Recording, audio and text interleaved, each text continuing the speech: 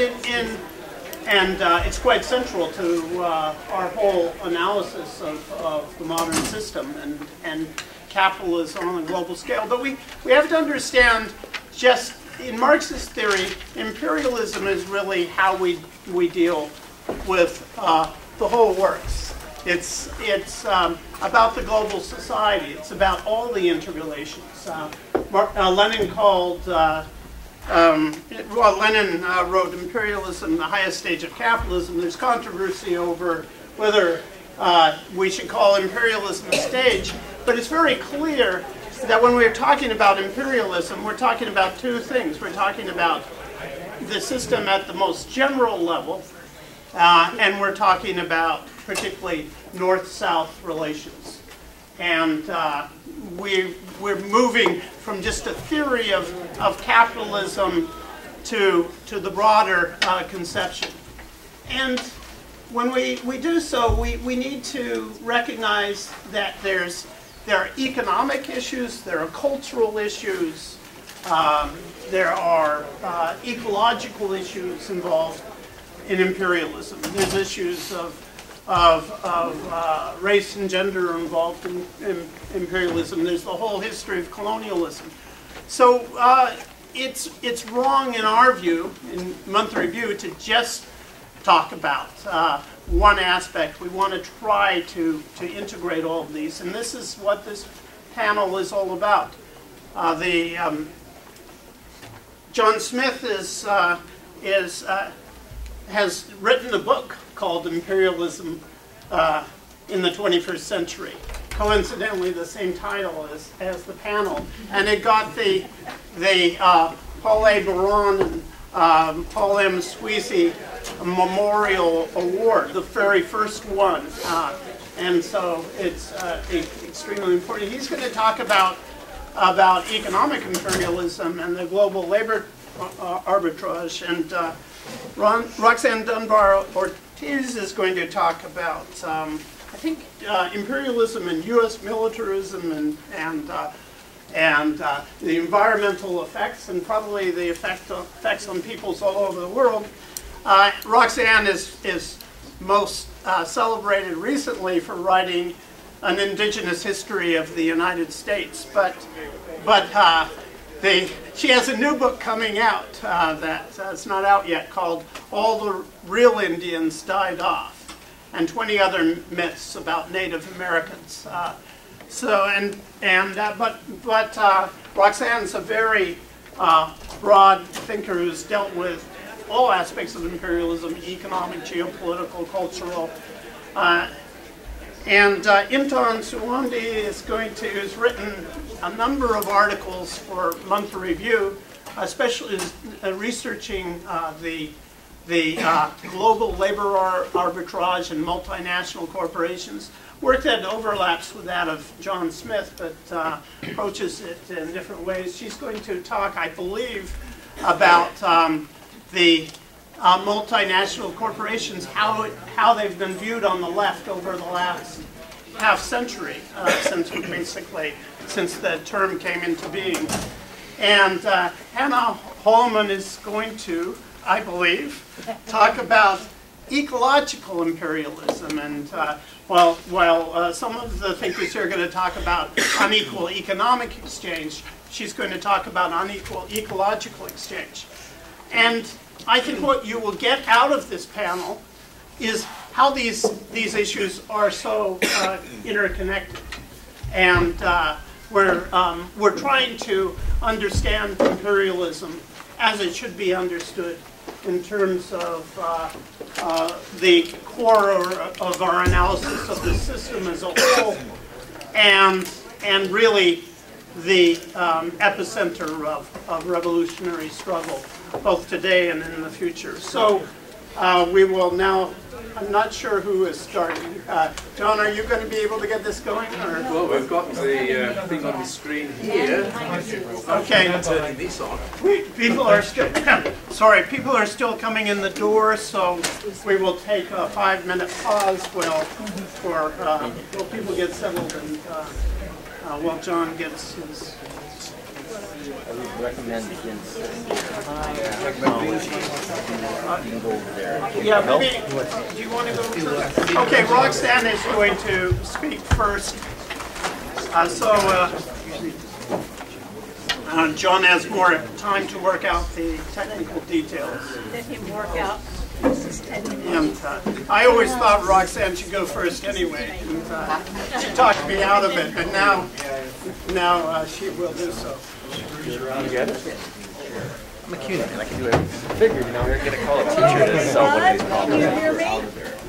Because there's no microphone, and I am an asthmatic and have a very low voice, so keep quiet. And move closer, you can't. I know. Anyway, I'll try to talk as loud as I can and not too long. Um, So I, first I want, yeah, this Indigenous Peoples' History of the United States, my preferred title of it is The True History of the United States. So, um, if you look at United States his, uh, imperialism, which is almost a, you know, kind of uh the same thing these days.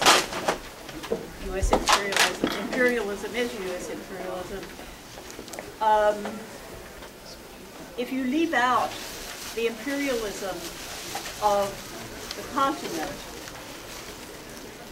the first hundred years of U.S. independence, I think we have a very uh, limited understanding of, of the United States as an exceptional country, not in the way they want it, but uh, in the way that's unique and different uh, because of many circumstances.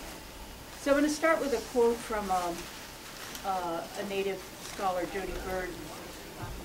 She writes that the continued colonization of American Indian nations, peoples, and lands provides the United States the economic and material resources needed to cast its imperialist gaze globally is a fact that is simultaneously obvious within and yet continually obscured by what is essentially a settler colony's national construction of itself as an ever more perfect, multicultural, multiracial democracy.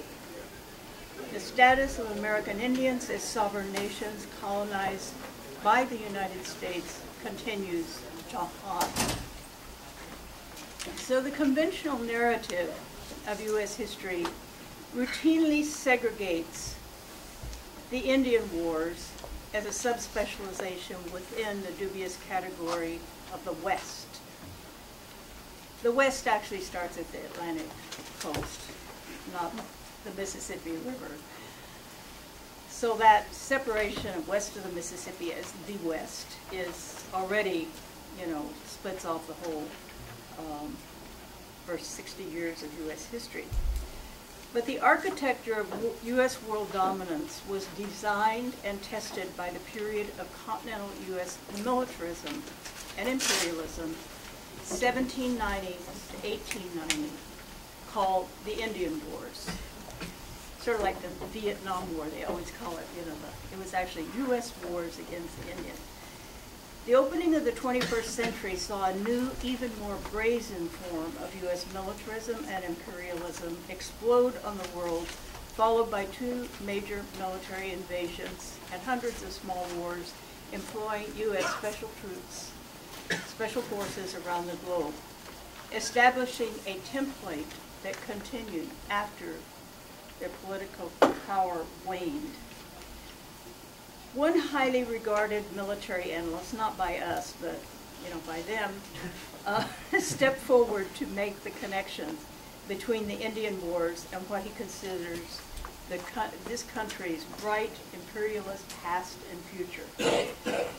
Robert D. Kaplan, in his 2005 book, Imperial Grunts, anyone read Imperial Grunts? Should be required reading for everyone on the left. It presented several case studies that he considered highly successful operations. Yemen, remember this 2005, Yemen, Colombia, Mongolia, and the Philippines, in addition to the Horn of Africa, Afghanistan, and Iraq. While U.S. citizens and many of their elected representatives called for ending U.S. military interventions they knew about, including Iraq and Afghanistan, Kaplan, Kaplan hails the protracted counterinsurgencies in Africa, Asia, the Middle East, Latin America, and the Pacific. He presents a guide for the U.S. controlling those areas of the world based on its having achieved continental dominance in North America by means of counterinsurgency and employing total and unlimited war. In 2011, Foreign Policy magazine named Kaplan as one of the world's top 100 global thinkers, unfortunately. Author of numerous best-selling books, including Balkan Ghosts and Surrender or Starve, Kaplan became one of the principal intellectual boosters for U.S. power through the tried and true first way of war.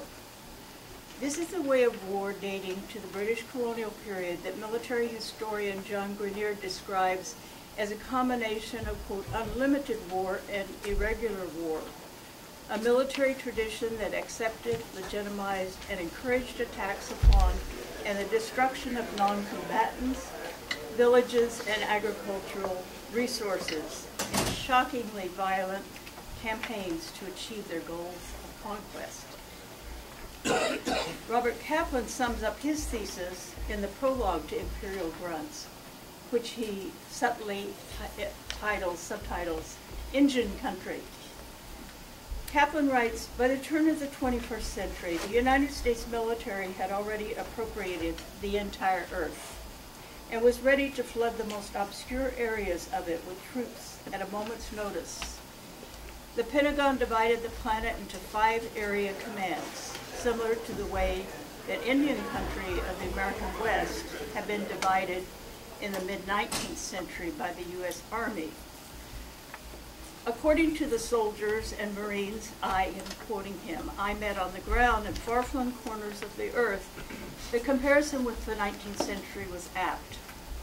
Welcome to Indian country was the refrain I heard from troops from Colombia to the Philippines, including Afghanistan and Iraq. The war on terrorism was really about taming the frontier, unquote. Pointing to the intentionality of U.S. colonialism in North America, Kaplan challenged the concept of manifest destiny, arguing it was not inevitable that the United States should have an empire in the North American continent. Rather, he argues, it was the work of small groups of frontiersmen separated from each other by great distances. Here Kaplan refers to what Grenier calls rangers, or what used to be called rangers before they were called militias. These are self-organized settlers who destroyed indigenous towns and fields and food supplies, murdering the inhabitants and driving the others out. Kaplan equates these settler vigilantes to modern-day special forces, very accurately, I think. He acknowledges that the regular army provided lethal backup for settler counterinsurgency in slaughtering the buffalo, the food su- supply of the plains people, as well as making continuous raids on settlements to kill or combine the families of indigenous resistance fighters. So although Kaplan relies principally on the post-Civil War source of U.S. counterinsurgency, it actually dates from the colonies even before U.S. independence. Kaplan acknowledges this in a footnote in which he reports what he learned at the Airborne Special Operations Museum in Fayetteville, North Carolina.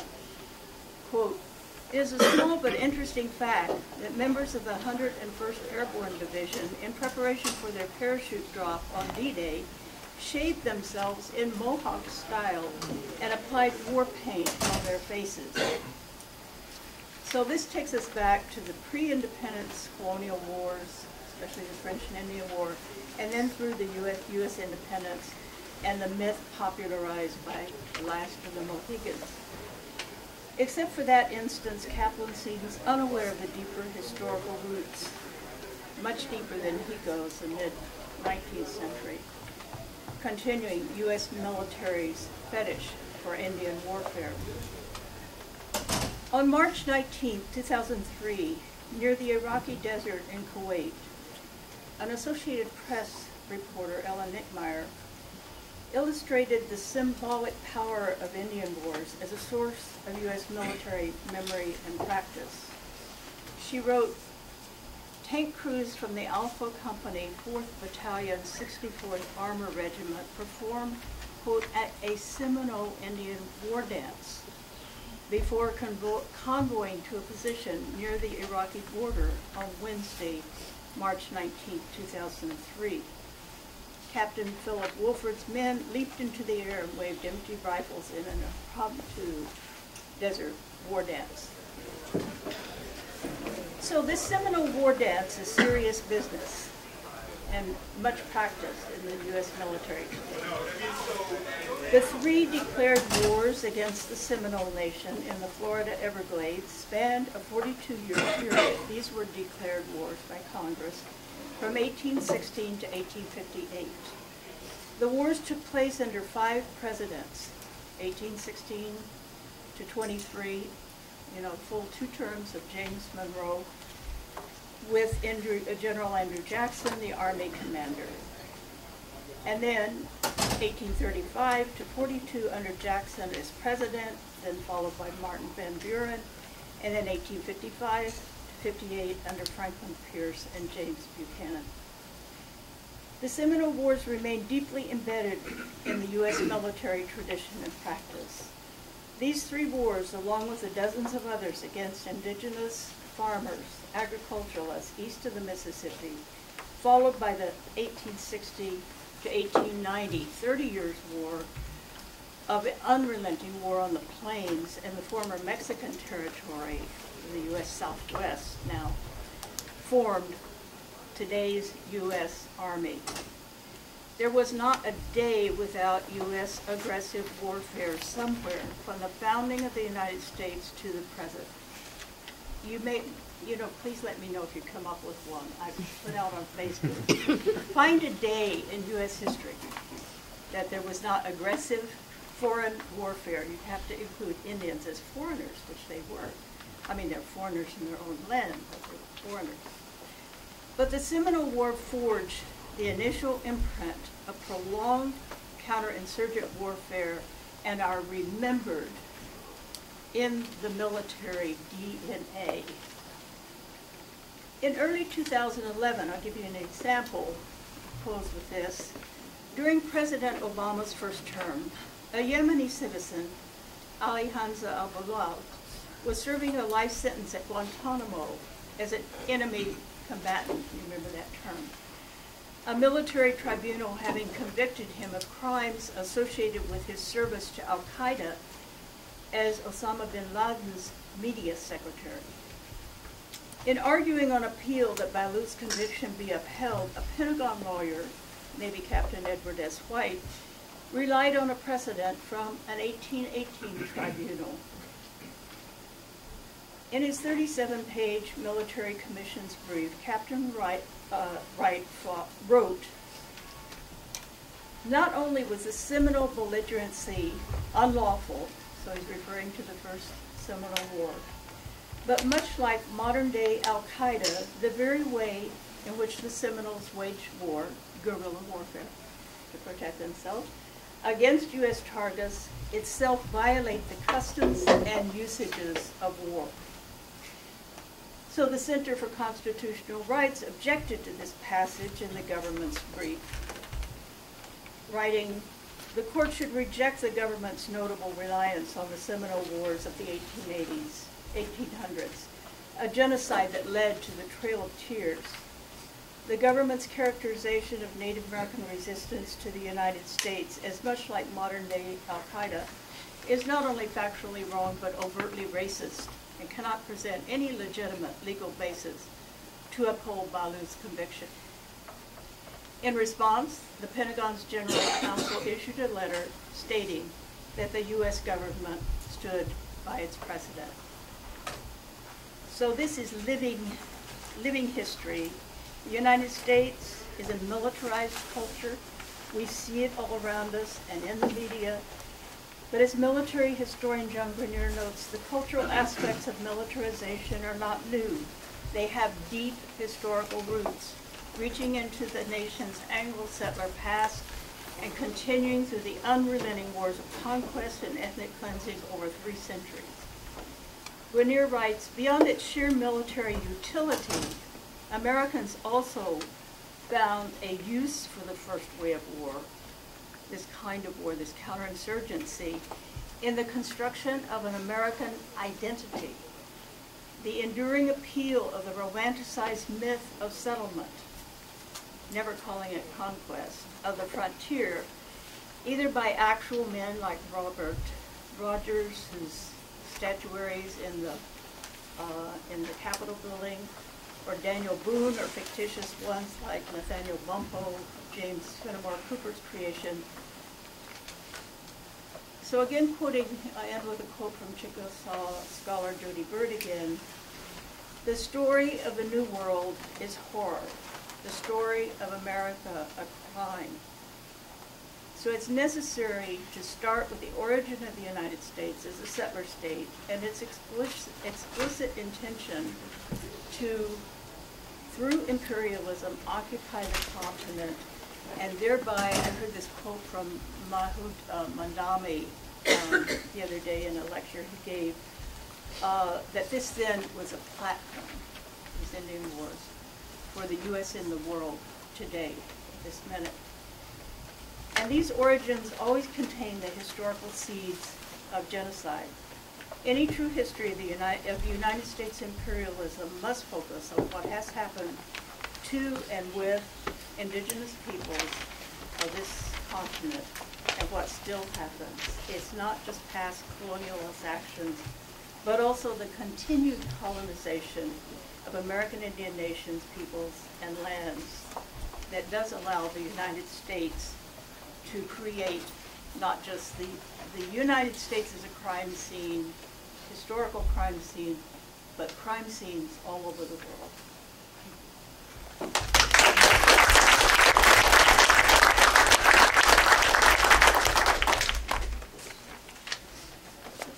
Are you ready? Yes.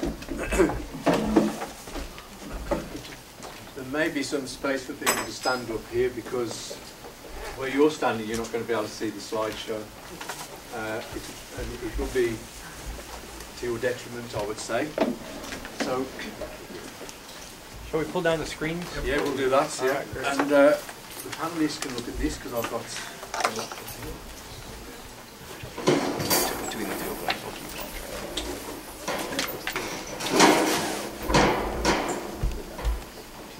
Okay, and maybe we could uh, reduce the lights a little bit. perhaps? Yeah, I think that's a street statement. Thank you. Okay. well, I've produced this slideshow in order to be able to squeeze a lot more into my available time and also to restrict me because the slideshow is timed and therefore I'm not going to be able to go over it. Um, and when I look at what's in the slideshow, I find it slightly hard to believe that I managed to squeeze so much into 15 minutes. So I did try and make sure that there was enough time for you to read the text, but maybe not all of it can be absorbed. But anyway, here goes. so there is the front page and the uh, list of contents of the book. I hope at the end of the, my talk, or at least after the questions and answers, uh, I'll be able to justify the title, explain the picture, and explain something of the structure of the book. So, let's, uh, I want to start off with this graph here, spend a few minutes on it, uh, which I actually call Map of the World.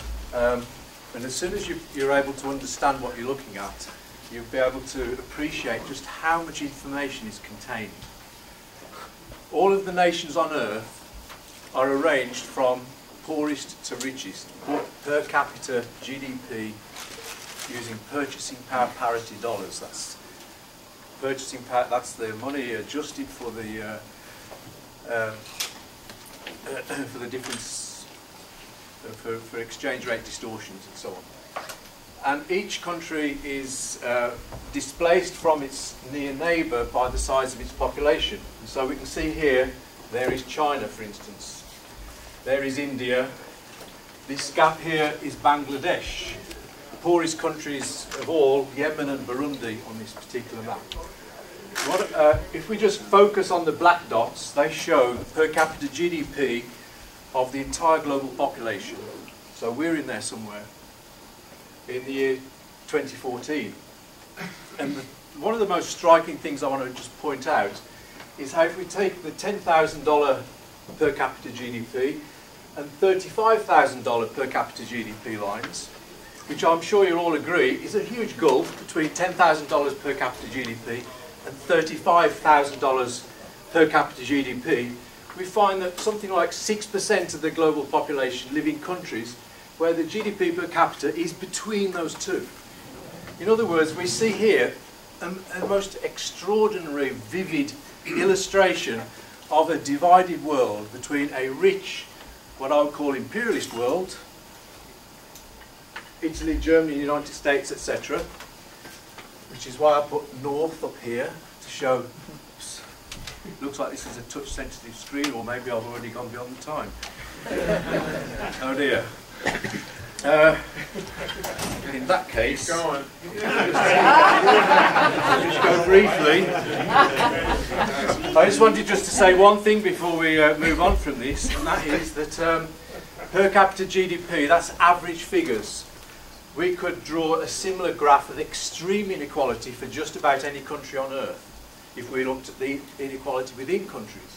Another thing to say about it is that as we've found, discovered from the, the uh, Mossack Fonseca data release, release, and we knew a lot about this beforehand, is that the income received by the elites in poor countries, the imperialist countries have set up a whole constellation of tax havens and offshore financial centres for them to take their wealth way beyond the reach of the taxation authorities in those countries.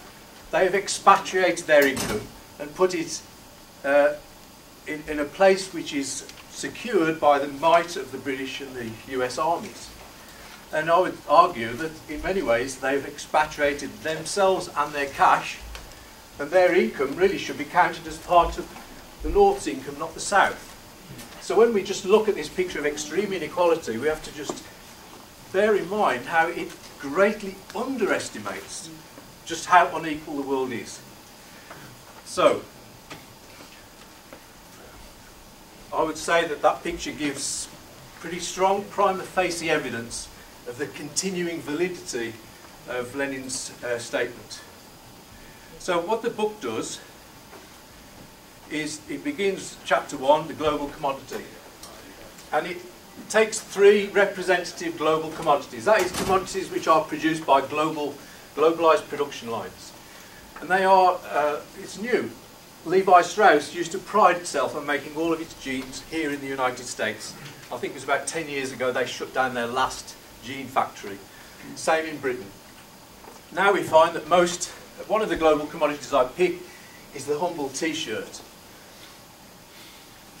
And uh, again, I'm going to have to just go back up here and just briefly pause on this. Well, if I don't get to the end of the slideshow then, that's too bad. That's no, not such a great problem. We all know that, well, if I go into a store, I'll translate it to dollars, I'll buy, I'll buy a t-shirt for $20, made in Bangladesh, and it was made in Bangladesh. All of the stages of production took place there. Even the price tag in some cases is actually put on the item before it is shipped. The only thing to do with the t-shirt, once it's arrived off the boat, is to pick it up, transport it and put it on a shelf and sell it. And yet, of the $20 that I spend for that t-shirt, perhaps 19 of those dollars will appear in the GDP of the United States, in the country where it is consumed. The other dollar will appear in the GDP of Bangladesh, where it is going to be shared between the, the state, factory owners, and a small amount to the workers. This is not quite show. Uh, one of the things that this does not show here is the enormous proportion of the final value of the T-shirt, which ends up in the hands of the state. We know the reason why H&M or uh, whatever you call it, J.C. Penney, etc., outsource their production to Bangladesh so they can make profits from workers in Bangladesh. But actually, the biggest share of the final value of the T-shirt will end up in the hands of the U.S. government because of labour, because of protectionism, nationalist protectionism by U.S. trade unions. Bangladesh, even though it's one of the poorest countries on earth, does not get tariff-free access to the US market. Different in Europe, where it does get tariff-free access. And in my book, I, I quite uh, quote data which proves that the US government collected more in, from tariffs from Bangladeshi textiles arriving off boats than did the workers who actually than the workers who uh, received in wages of those, of those who actually made those t-shirts. So the US government's cut was greater just simply from tariffs than uh, the uh, share of the people who actually produced those garments. But of course the US government will tax the profits of J.C. Penney's and tax the profits of the commercial capitalists that lease the, uh, the equipment. And what does the US government do with this money, or the British government for that matter? Well, they use it to finance foreign wars and they also use it to pay for our Medicare. Now there's a series of slides here. This is the from the front page of the book. The book actually begins with the Rana Plaza disaster, which I'm sure you'll all remember from the year 2013. Here it is. And one of the great uh, benefits of this set of slides is that it helps to bring these people into the room. These are the people with whom we are so intimately related because I would bet that at least three quarters of the underwear garments being worn by people in this room were manufactured by our Bangladeshi sisters and brothers. That's how intimately connected we are with these people. At this point, if somebody's got a sip of water, I should have brought a... Is there any water about there? Thanks. It's got my germs on it. That's okay. So, I would argue that you do not need to have a theory of, of, economics to be able to understand for sure, to know for certain that the people who make our t-shirts and our clothing are being super exploited.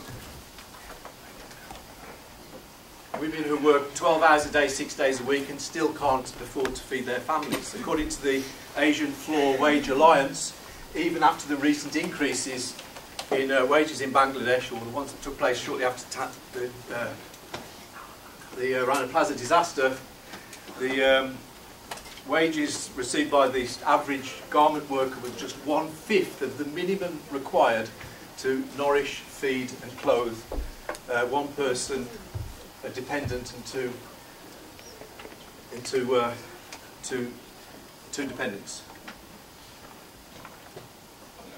Another issue that is posed by examining the uh, social relations embodied in a t-shirt is that although we know for sure that the employers have uh, JC Penney etc have outsourced their production to Bangladesh because it has the biggest benefit on their profits you can't find a single penny that's traceable back to Bangladesh. As I said the GDP of the United States is expanded by far more than the, than the GDP of the country where the, these items are actually produced. And all of the profits and all of the revenues received by the US government and by individuals, by firms in the United States, all appears to be a result of the value added, in inverted commas, activities taking place here in the United States. Not a penny of it can be traced back to, I'll just pause it. Where are we? Here um, so this gives rise to one of the questions which the book tries to look into. It's clear if you look at the statistics that you can't see any trace of exploitation, you can't see any trace of wealth being extracted from Bangladeshi workers, and yet we know for sure it's happening. The question is, Therefore, we need a theory that explains it and also a theory which can also explain why existing uh, mainstream accounts and why official statistics manage to make this gigantic fact invisible. And that's one of the main tasks that the book sets itself. So I- I've just paused here because the other two representative global commodities which I look at uh, in chapter one is the Apple iPhone and the cup of coffee. The Apple iPhone is kind of the opposite extreme from a t-shirt because it's an extremely sophisticated, very complex uh, item. Whereas a cup of coffee is different from both of them in that it's an agricultural product and not a manufactured good at all. But we find the same basic pattern that the producers receive a tiny fraction of the final value of the product. And not only that, as the book is able to establish, I think, the markup between costs of production and final selling price has actually been increasing over the past while. The gap between the two has been getting greater and greater. So we need a theory to explain this because it's not immediately obvious what the explanation is. So, the, after looking at, at three examples of representative global commodities, the uh, book then goes and uh, looks at the broader picture. It turns the telescope around, if you like. And here, again, I'll just pause it briefly. Here we can see this graph here shows the uh, proportion of the total exports of all middle and lower income countries. That's basically every country apart from the richest. Sorry. and between 1981 and 1993, 12 years, you can see that the proportion of the total exports of poor countries consisting of manufactured goods increased from 20% to more than 60% in the space of 12 or 13 years. That is an absolutely staggering transformation in such a short space of time. And it's had, got its reflection in a, an equivalent transformation of the producers of the working class. Beginning of the globalization period, there were as many industrial workers in the so-called industrial countries as in the rest of the world, and we can see now that at least four in every five industrial workers on a global scale is to be found in low-wage countries. The driver of this process uh, has been called, it's got this jargon, global labour arbitrage. And here you can see the uh, a, a summary. This is a, a, a passage taken from the book. So the idea, of globalisation of production, is driven by efforts by firms in Europe, North America and Japan to cut costs and boost profits by replacing higher wage domestic labour with cheap foreign labour.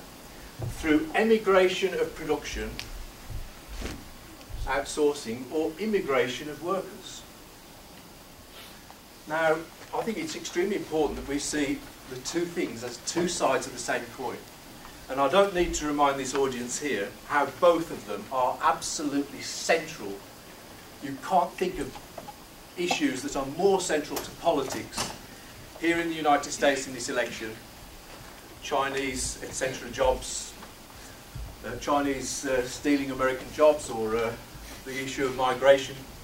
Similarly, uh, central to the politics of countries in Europe, in the United Kingdom, and so on.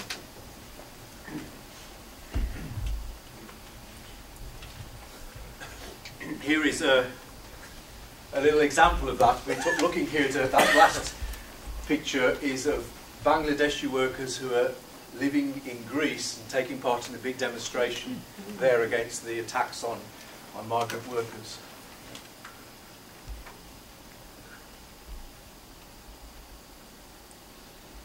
So the book argues that this is uh, an outstanding feature of globalization, that anything and everything can pass through borders. Factories can pass through borders, the owners of factories can pass through borders, the products that come out of the factories can pass through borders, the money that's generated by the, by the factories can pass through borders. The only thing which can't freely pass through borders is working people. So, and it's that restriction on the free movement of labour which gives rise to the gigantic wage differentials, which then in turn creates the pressure, the desire for the uh, imperialists to go and take advantage of the cheap labour, corralled in banter bantustans called countries. And I have to just pause at this little quote here. This is uh, from Stephen Roach, who's a mainstream economist, uh, leading economist at Morgan Stanley, and he he uh, expressed the reality in the most stark way in this quote. That even though the economics It just moved again. Moved again. Oh, even though the uh, um, even though the economic theories which he subscribes to deny the existence of exploitation, I think you can see here that he is very, very close to admitting the reality of it. And he explains here that if it hadn't been for the possibility of shifting production to where wages are a tiny fraction of, of Britain and America, the imperialist countries, then the imperialist economies would not have escaped from the crisis that they found themselves in in the 1970s. In other words, outsourcing really was a life and death question. If they hadn't been able to do this, the crisis that broke out in 2007 2008 would have broken out much earlier in a, in a perhaps a slightly different form. And another corollary of this is the outsourcing of production has managed to buy several decades for the capitalist economies of the West. It's given them a new lease of life. And these two, uh, uh, these two slides here just underline the point that European businesses should regard China as an opportunity, not as a threat. It's ridiculous that people complain about China's trade surplus with the United States when it's US companies that have relocated production to China, which largely explains that trade surplus.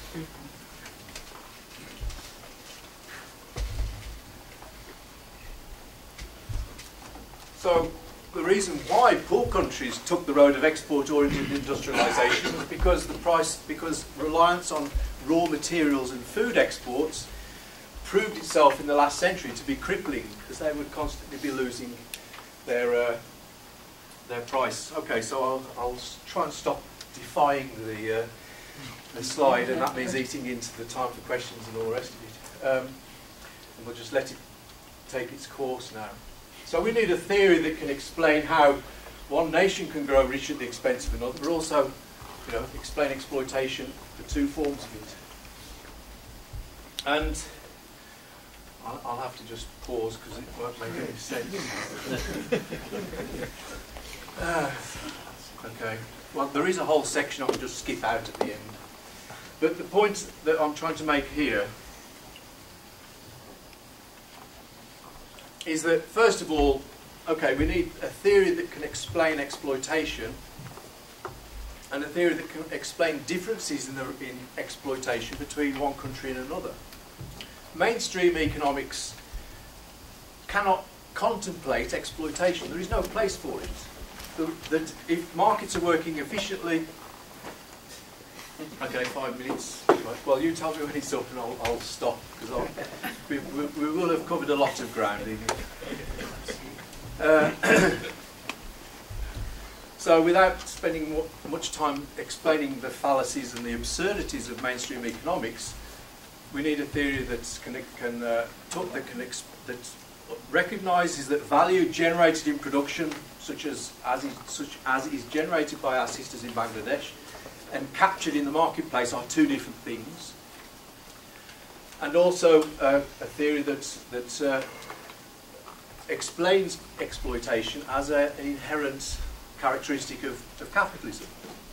Marxism is the only available theory. Anybody who tries to explain exploitation inevitably has to uh, engage with Marxist theory, explain why it's right or wrong, explain where its limits are, perhaps, but you can't possibly ignore it. It's impossible to.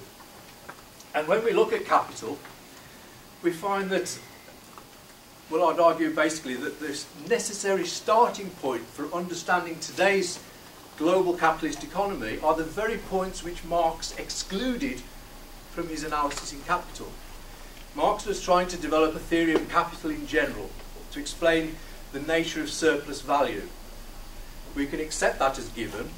What we now need to do is to, and in order to accomplish that, he excluded, as we see here, uh, variations in rate of exploitation between one country and another. There's several, a couple more quotes where he makes the same point. This is this this. Uh,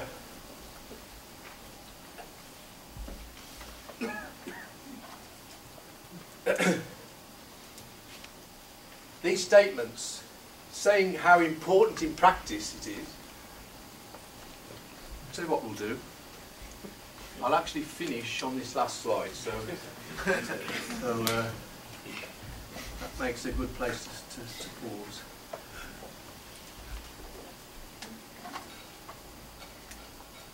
So the argument is that in order to carry out the project that Marx set himself in capital, he assumed that all commodities were sold at their value, including the commodity labour power. He also assumed that labour power had a single value because he was examining an idealised unitary economy where there was no artificial impediments to the free movement of commodities or of labour.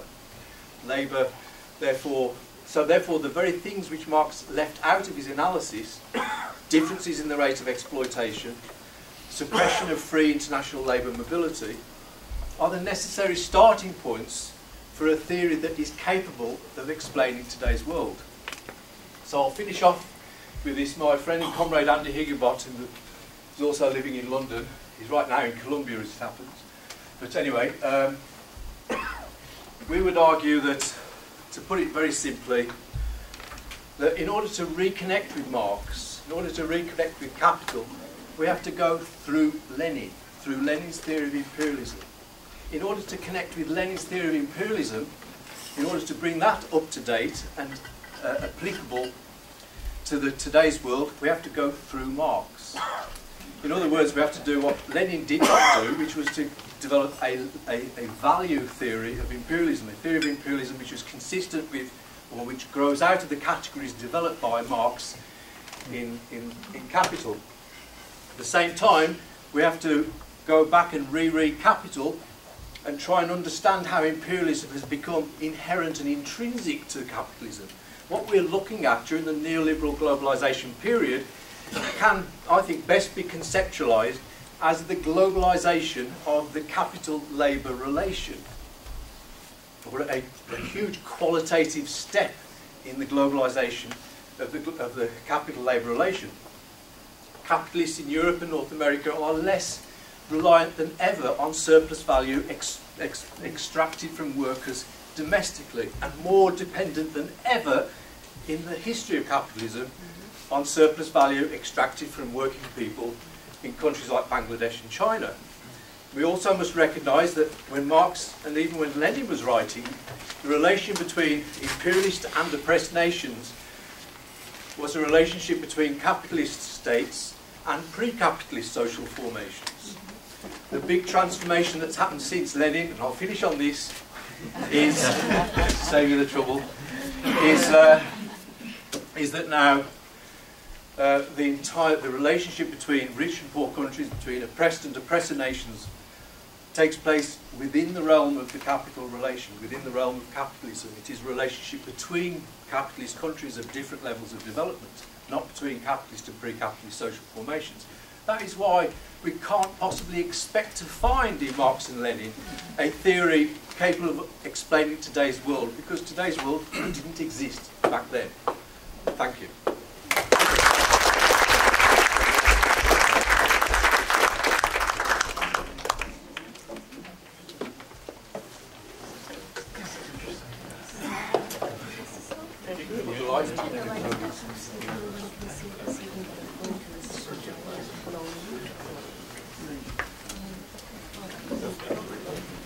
Quite a lot of the slideshow.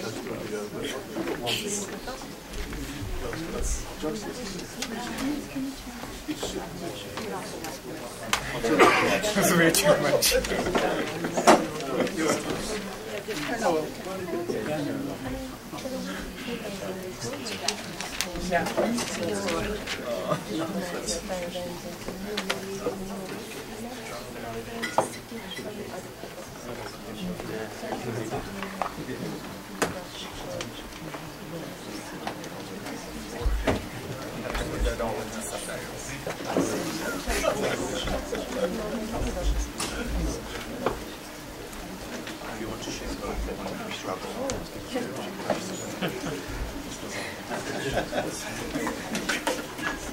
Hello, everyone.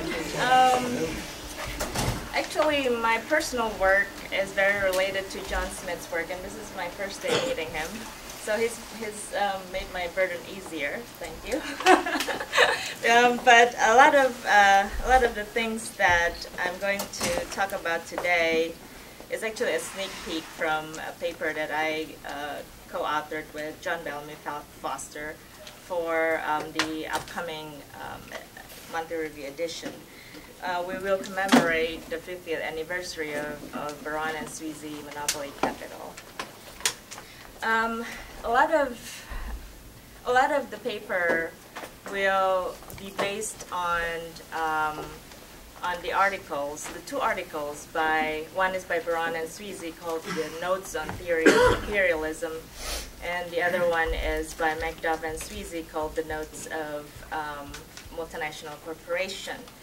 Um, the main the main goal is is actually very similar of what what John Smith was talking about we want to be able to explain that our present or our current um, global economy is actually imperialistic and its characteristics.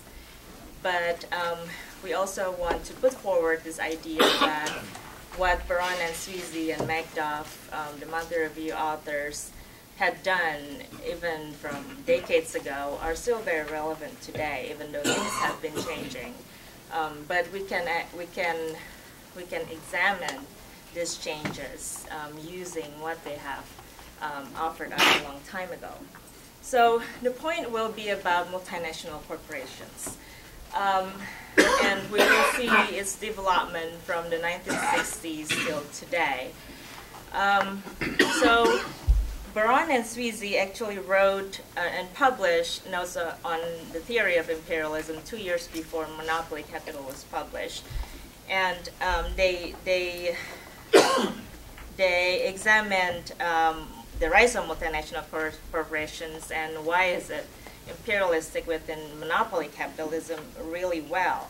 But the, um, why that was also important was because in the 60s, the mainstream media was also very excited, right, about the rise of multinational corporations.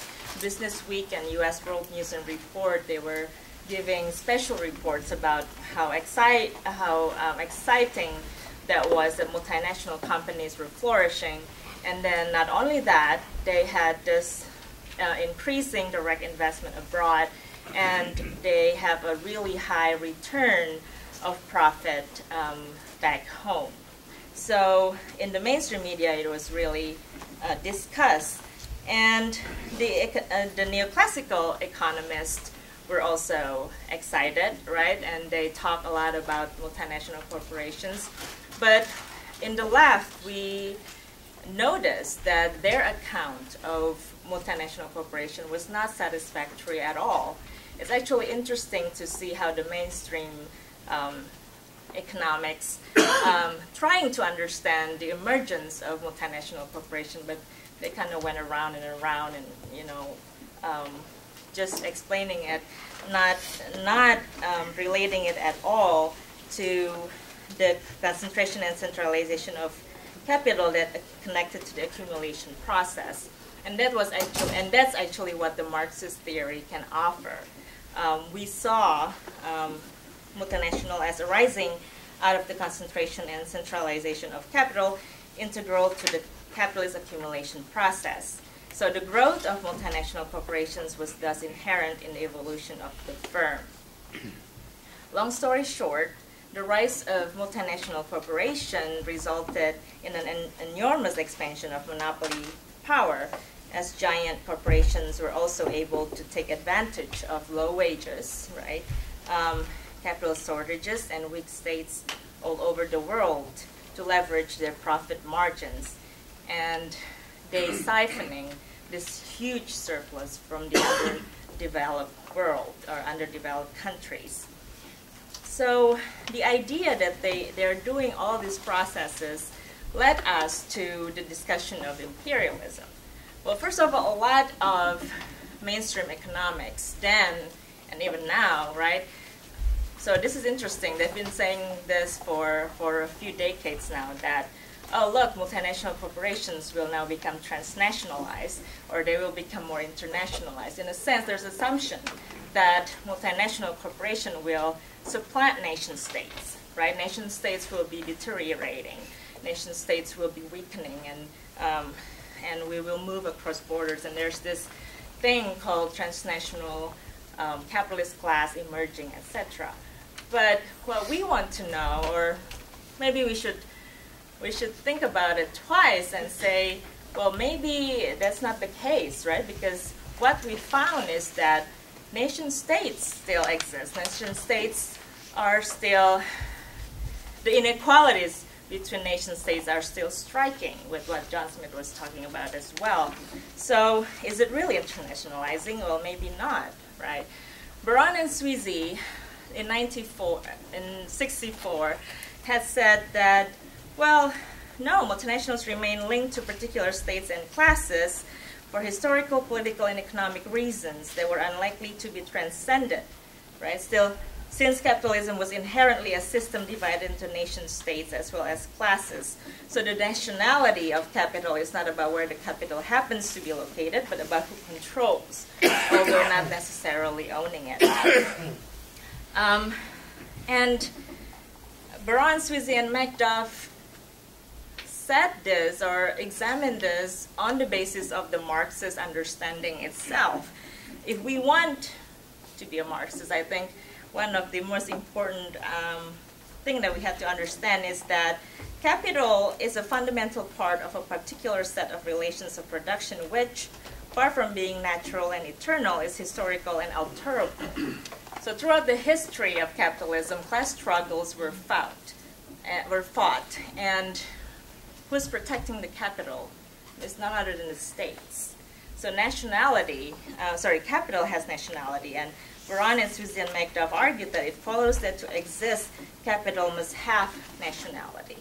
There have been partners in crime since a long time ago. So even mainstream economics, like Charles Kindleberger, who argued for this international, internationalization of capital, they themselves couldn't escape this question, right, about nation states, but they went over, um, they went around and around and said what, what to do with nation states, how do we see nation states, but the, they cannot get to the root of it. Um, and mainstream economics, and maybe, uh, you know, mainstream media, etc. Um, the question is, why do they or their dominant accounts of multinationals are confused, right? Convoluted, trivial, and generally incoherent. Well, we argue that because their accounts of multinational corporations are derived from the apologetic ideological requirement of explaining the reality of political economic relations while excluding the main structural feature of that reality, which is the imperialist world economy. Um, so, also related to Lenin, right? Baran and Sweezy, if you read Monopoly Capital, they also they also explain it there. Um, they wanted to transcend Lenin's uh, Hilferding's Lenin's theory of imperialism by putting it into the present context. So in their context, it was in the 60s. They, they said, well, we cannot, we cannot detach the understanding of imperialism without seeing the changes that had happened with the ruling class in the dominant countries. And why is that important? Because the dominant class, what they said, they had this power of initiative, right, to which other classes react. So when we when we actually observed that multinationals were arising, and we knew that they were the ruling class then, so it makes sense for us to explain um, imperialism through the rising of the multinationals, right? Because uh, also examining their interests, not only their structures, but also their interests. So that's what they were trying to do. In the 60s, though, and in the 70s, the focus of of this discussion was on direct foreign investment, or what we called FDI, because that was the booming, um, the booming trend then. So there's a lot of discussion about that and how foreign investment, especially the direct ones, was aimed to penetrate new industries and new markets, right, as well as a means to exploit global wage differentials and cut costs in, in other areas. In monopoly capitalism, it is also serves as um, outlets for surplus funds. And not less important is this idea that direct investment is a means to control market, because that's what the multinational monopolistic uh, corporations trying to do to control the world market. And at that time, they realized that it's easier to control the market through investment rather than mere exports. So the striking thing that they realized then is that not only that we export capital, but we were actually a big importer of capital because what we exported, we, um, we gain in return multiple times more than what we actually took out. So that was the basis of basically their theory. And what does this mean, right? What does this mean when high return of surplus, when we got the high return of surplus? So not only did such investments become a means to transfer wealth from the global south to the global north, but it was also enabling the richer countries to expand their control over the economics of the poorer countries. Um, one big thing about mon- uh, multinational corporations is that they only care about how business can benefit them as a whole. And this means how it can benefit their parent companies, not their subsidiaries, let alone national communities, right, where they have their operations on. So Magdoff and Sweezy said, well, here lies the ultimate conflict of interest between the multinationals and the host country. Once a country is penetrated by foreign capital, control over both size and utilization of surplus passes into the foreign owners of capital. And Baran has said this eloquently a while back in the 50s that this is central to economic development, the size and utilization of surplus. So here lies the tension, right, between multinationals and nation states. If nation states had to, what do they call, how, how do you call it, how, if they have to submit to multinationals' requests, of course, they will undermine their own sovereignty. And this is where the tension lies. But of course, this is not only about corporations themselves, and I think John Smith had talked a lot about that, um, but the state plays the game as well. So United States tries to forcefully recreate other states, United States as the imperialist country, tries to forcefully recreate other states on its own image, or if that fails, achieve the world of obedient satellites. And another left scholar, James O'Connor, also had said this in 74 that when the center promotes economic development, they basically were trying to integrate underdeveloped countries closely to the world economy. So this is what happened in the 60s until uh, and then a, a, a, few years, um, 60s, 70s. But what today, what happened today is also a little different, right? So it's not only direct investments, which is still increasing, but also the global labor arbitrage.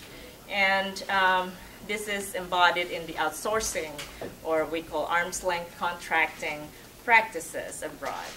Um, and Sweezy said in the 60s that when multinational corporations became bigger, right, and they had their tentacles over the world, they become the top management became less and less attached to production. They became more financialized. Now, what happens today is even more extreme, right? A lot of companies um, were are actually, if not totally, uh, completely detached from the production process. And Nike is a, a big example. We're from University of Nike in Eugene, Oregon. Um, that's what we call University of Oregon.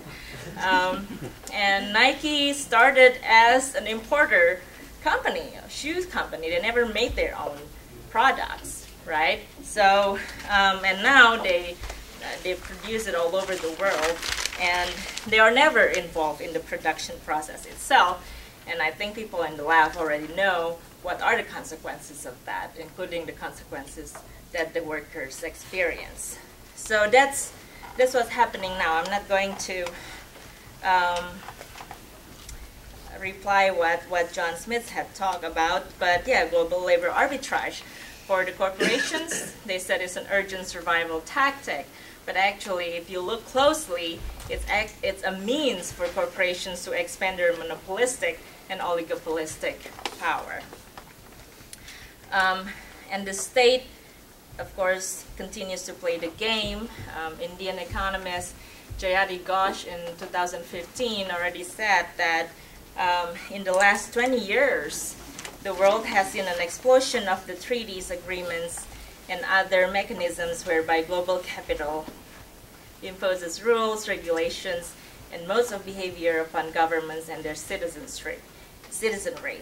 And TPP and TTIP are examples of that. Um, later in 2013, Samir Amin um, theorized this as generalized monopolies. This is just an aspect of generalized monopolies, which today constitute an integrated system where these monopolies tightly control the systems of production. So apologists will say this is globalization, right? It's, it's unstoppable, it's inevitable. Uh, we cannot stop that, as if that globalization is something neutral. But apparently it's not. If you, you look closely, globalization is just, according to Samir Amin, something used by capital and their state instruments to put forward um, their set of demands by which they exert control over the productive systems of the periphery of global capitalism. So, uh, to close this, it, it's obvious that 52 years after Baran and Sweezy wrote that notes uh, on the theory of imperialism, um, their analysis remains striking. When they closed the article, they said, when it comes to their view of the world, the corporations aim to make a world safe for themselves. In more ideological terms, this means to protect the free world and to extend its boundaries wherever and whenever possible, which of course has been the proclaimed aim of United States policy since ever the promulgation of the Truman Doctrine in 1947. Now, if you if you reread that quote, it's amazing how things are still very much familiar like that today, and even it takes a lot of blatant forms. Um, I sometimes tell people that if you want proof in writing about U.S. imperialism, just read the speeches by the President of the United States and yeah, Democrats included, of course. Um, so this is maybe a, a, small speech, considerably, but Obama uh, just a few days ago gave a speech in May 2016, a commencement speech in Rutgers, not long, uh, not far from here, and he said, "I have a couple of suggestions for you, uh, graduates who soon would go out there and conquer the world." he said a lot of these were criticism, uh, hinting at criticism of Donald Trump, but he said, you know, there's no need for dreaming of the good old days because they actually weren't that great. But he quickly added, of course, he said, well, except for that one time or few times after the Second World War and Cold War, this is his quote, when the world bent more easily to our will. Right? But he said, well, you don't, but no, don't worry. And actually, that's what makes us, that's what makes us great as a nation, because we were never afraid of the future, and we actually size the future as our own. He said. So we cannot stop the fact that the world is more interconnected than ever, um, and building walls won't change that. He said. What needs to be done in this age of global supply chains, and this is really interesting, right? Because he actually talks about global supply chains, global commodity chains. It's for this country to, quote, make sure that international rules are consistent with our values. so if that's not imperialistic, I don't know what. So in other words, let it be known that the world should continue to bend to our will and to our freely appropriated commodified values, not theirs. This is what he was actually talking about, right? So yeah, nothing new. Um, and I think that was a really, really prime example of our beloved president. Thank you.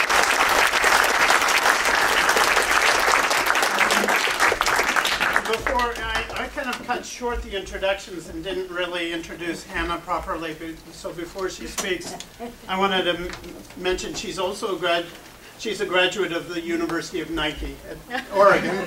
And uh, she's a professor of sociology at uh, Amherst College. And she's uh, written on the theory of unequal exchange, and she's now doing a book on the global dust bowl. And like uh, all the other speakers, she's written for Monthly Review.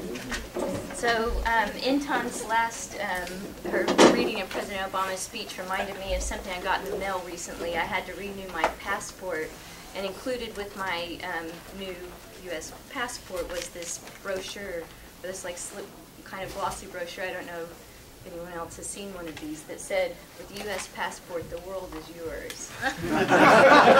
It's actually what it said. I, should, I, ha- I have it on. It's, it's pretty. I thought it was incredible, but that's what they slip you with your passport. So I'm going to talk a little bit about ecological imperialism and build on um, some of the analyses that were already discussed. I don't know how many of you are aware, but in the past week here in New York City, um, the 15th session of the United Nations Permanent Forum on Indigenous Issues was convened. Discussions related to ecological imperialism were prominent in this series of meetings. Um, representatives of Native communities from around the world protested ongoing violations of indigenous rights to land, water, clean air, self-determination, and existence itself. The recent Paris Climate Agreement was one of the critical issues raised at the forum that was reported on. This agreement has been referred to by leaders of the major imperialist powers, including Intan's friend Obama, um, and leaders of um, some of the big environmental organizations, including Greenpeace, as a so-called turning point. The United Nations Secretary Gen- um, General Ban Ki-moon declared the Paris Agreement de- declared that the Paris Agreement set the world on a new path to a low emissions, climate resilient future.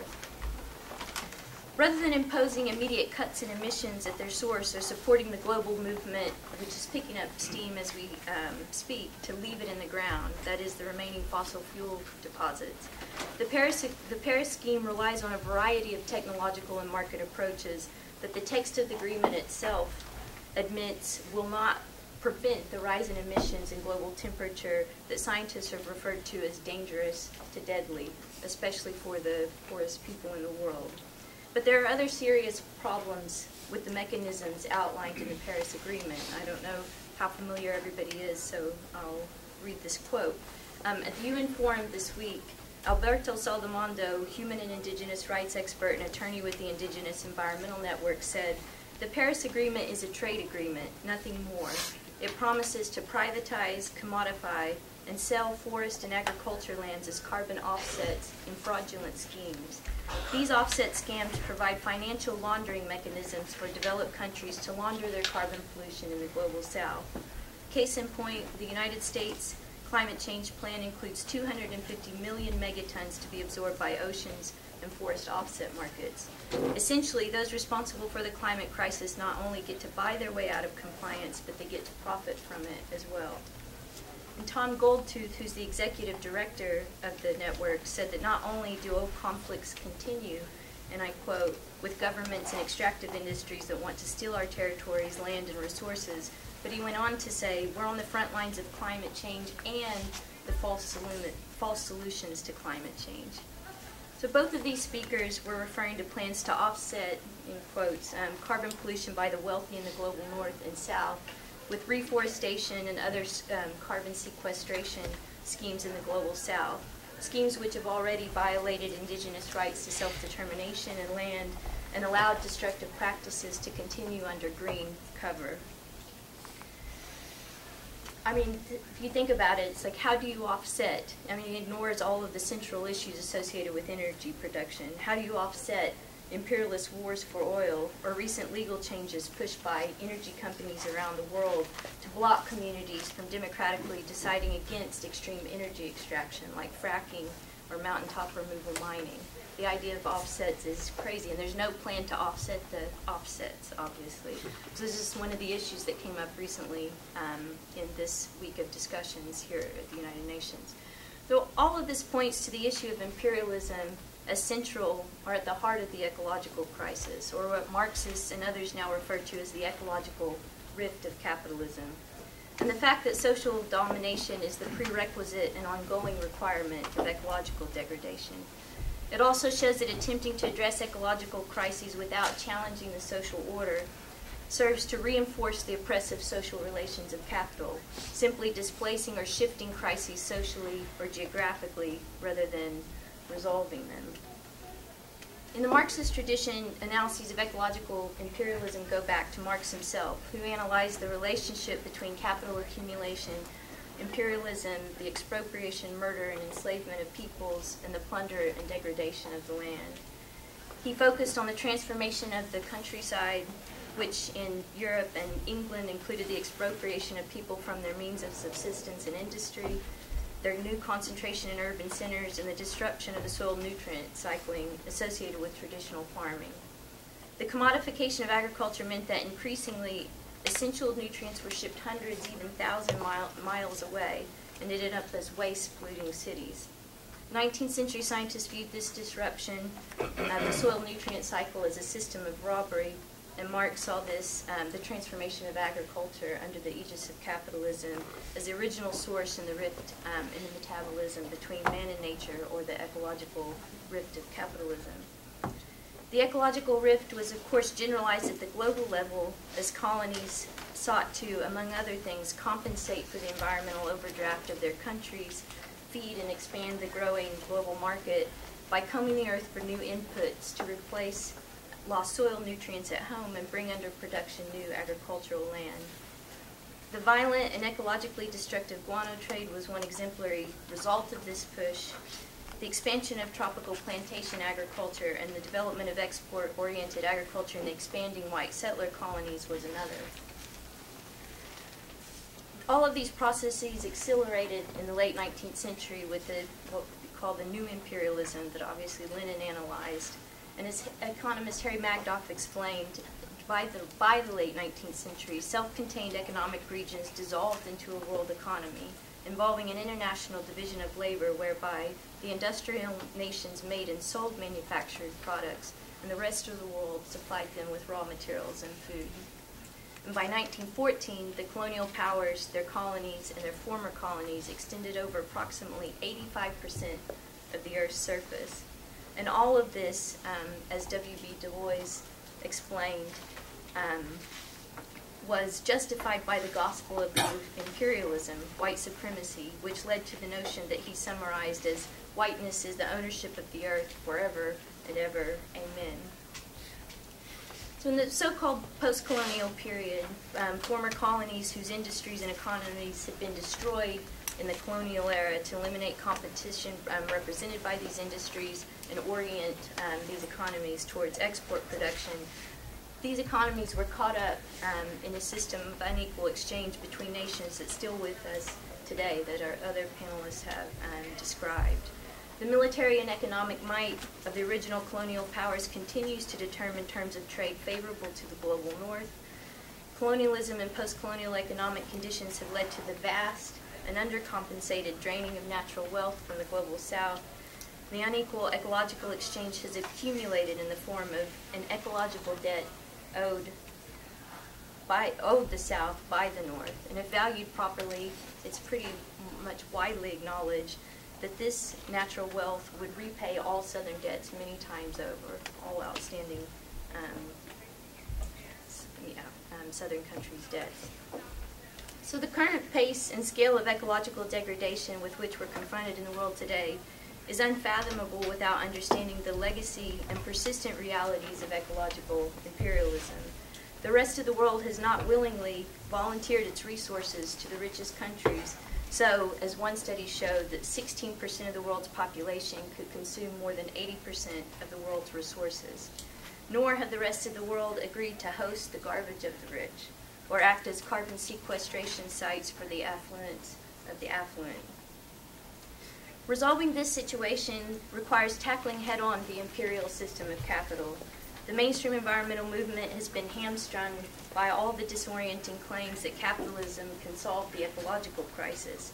and by misplaced faith in the so-called good capitalist that will transform the world with technology and green or fairly traded products, or international climate agreements, such as the one presented to much fanfare, uh, even amongst environmentalists in Paris. By looking toward political and economic elites for salvation and often relying on them for funding, significant segments of the movement are cut off from those with the greatest interest in transforming the system, the global working class. And it is a class issue. Um, I don't know how many of you have seen the statistics that 1% of the global, um, the top 1% of the global population are responsible for 50% of the uh, carbon emissions. 50% is one a small amount of people. So by looking to the top, the, movement is not engaged in the arduous task of overcoming the historical divisions imposed by the racialized division of nature and humanity at the heart of the ecological rift of capitalism. And conceptions of environmental justice that predominate tend to be shallow, focusing on inequality in terms of outcomes of environmental harms or the need to diversify movement leadership rather than addressing the roots of social divisions and inequalities. Addressing these issues requires moving beyond superficial approaches to historical changes associated with imperialism and capitalist development that have allowed environmentalists and other activists too often, I'm quoting um, Roxanne here, to safely put aside present responsibility for continued harm done by that past in questions of reparations, restitution, and reordering society. Superficial approaches to addressing racism, indigenous oppression, and other forms of social domination preclude the possibility of a deeper international solidarity across historical divisions. However, this is the kind of solidarity that we need to build and organize a working people's environmental movement capable of challenging the status quo and bringing into existence a society in which all species, including us, can survive, given that survival is now in question for so many people and for in the middle of the sixth great mass extinction. Um, but we should have a society in which all can thrive, and we have to build it. Thank you.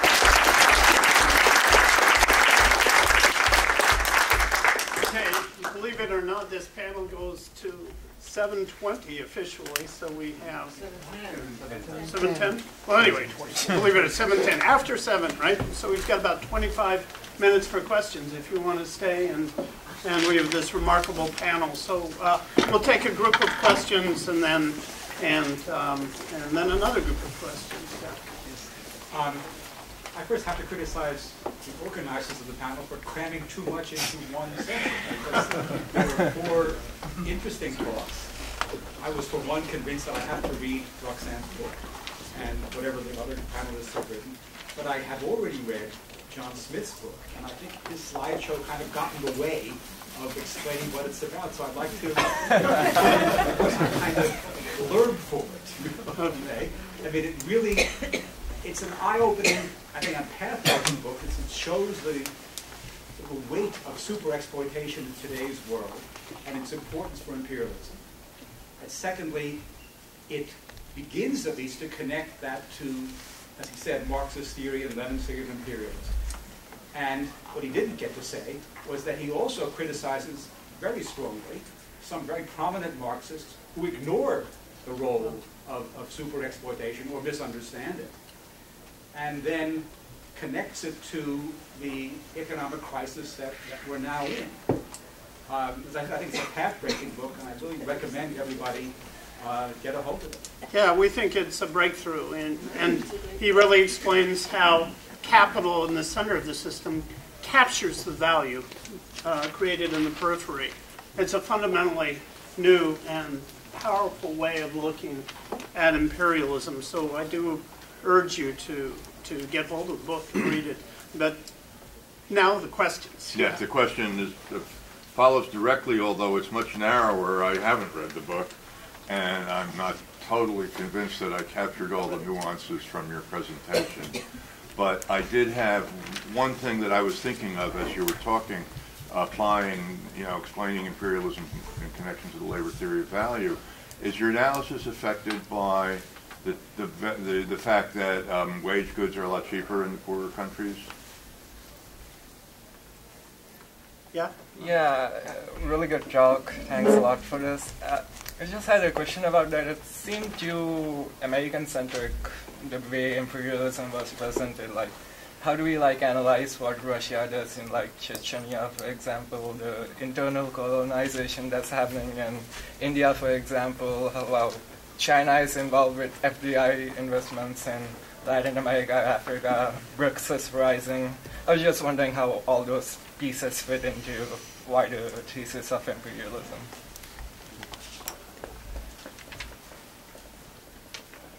Yeah? The question is, you raised the imperialism situation, how they exploit others, but what's the role of IMF and World Bank in this situation? Um, yeah. I was uh, reminded of uh, someone Lenin quotes in his book, and that is Cecil Rhodes, the great imperialist. Right? and one of the things he says in the book is, in his in the quotation, is that one of the reasons for imperialism is to stop revolution at home. Right? This is something Lenin quotes in that book. Um, and I was also thinking of another quotation, and this is uh, Du Bois, when he talks about what do you give the white working class uh, you give them a psychological prize, and that is whiteness, right? So um,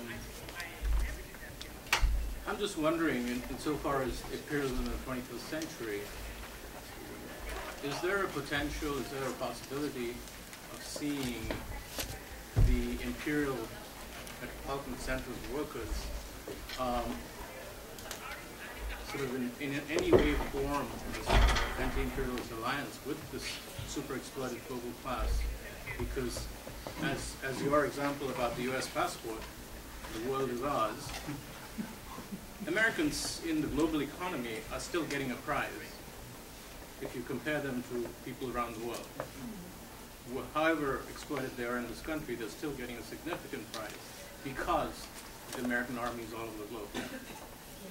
And so, what will it take, or what is the potential in the 21st century for that prize to sour to such an extent, or something else to happen that, uh, maybe even the environment, right? Um, that something changes in that situation.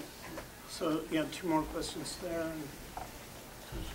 I would, I would like to piggyback on his question just there, but then also ask about other issues of regionalism, with, you know, what's happening in the European Union with austerity, and also the mass demonstrations against the, the with the labor laws in France, that kind of stuff, and what uh, Greece tried to do with uh, Syriza, and then also to ask about um, what's happening, uh, what's your what's your thoughts on what's happening in the Latin America situation, where the pink wave is getting pushed back, and how what imperialism in the 21st century looks like in, in Latin America.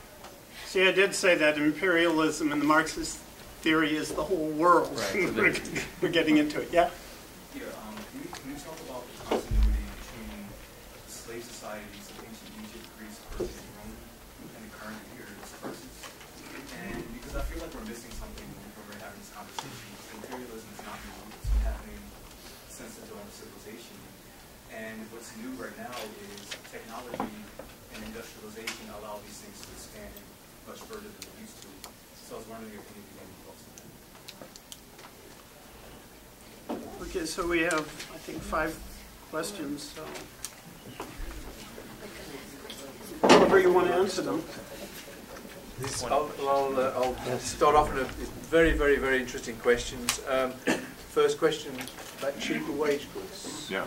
which also connects with uh, uh, several of the other questions actually. Imperialism and revolution, imperialism as a response to, because okay, the book looks at um, you. One of the reasons why wages can be so low in poor countries is because of the informal economy and it's because services, direct labour services, um, are performed for such like a, a, fraction even of the wages, which are a fraction of our wages. Um, that is what actually gives rise to the purchasing power anomaly as well, because labour. Uh, and so what you're seeing there is that uh, multinationals go to Bangladesh and China and so on, um, and they're directly exploiting well, the firms which they have a contractual relationship with are directly exploiting the workers who work in those factories, but indirectly exploiting the informal economy which allows the value of labour power to be depressed so low. But there's another dimension to it as well, which is also looked, in the, looked at in the book, not in great depth, but there's some very interesting statistics that, that are quoted, and that is that we're not only looking at the, at the, uh, at the globalisation of production of commodities, but also looking at the globalisation of the production of the commodity labour power. And that so much of the consumption goods that are consumed by workers in imperialist countries are now produced by low-wage workers in poor countries.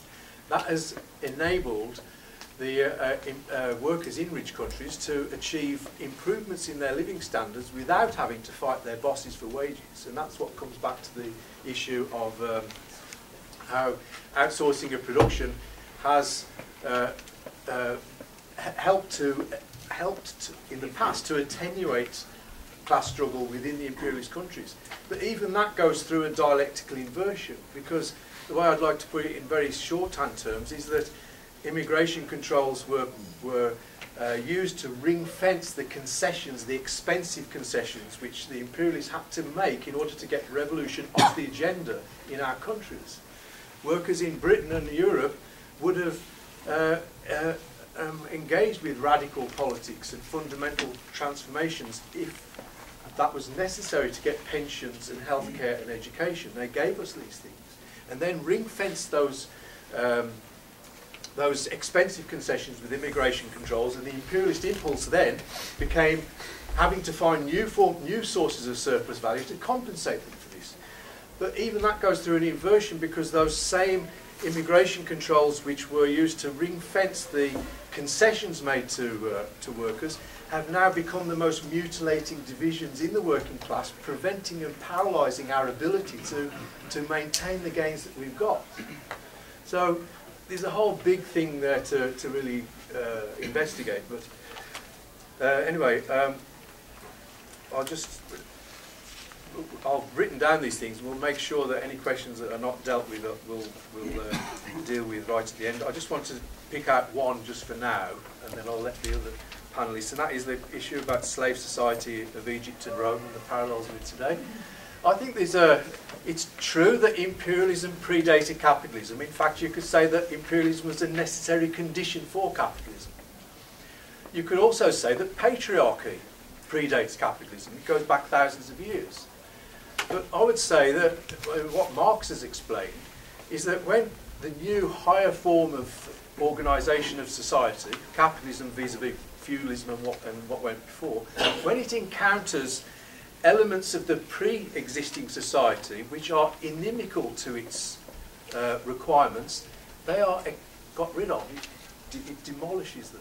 But when it encounters elements of the pre-existing social formations which are helpful and can be used and made useful, then it internalizes those features. And so I'd now say that imperialism is, a, an, is an inherent property of capitalism and that we need to understand why capitalism has become imperialist, we can try and find some common themes or common elements which are common between ancient Egyptian forms of imperialism and Rome and, and modern day. But I don't think we'll get very far there because instead of trying to find the, what, what is common to all forms of imperialism, we need to find out what it is about capitalism that makes imperialism so conducive and necessary for its own uh, uh, uh, continuation.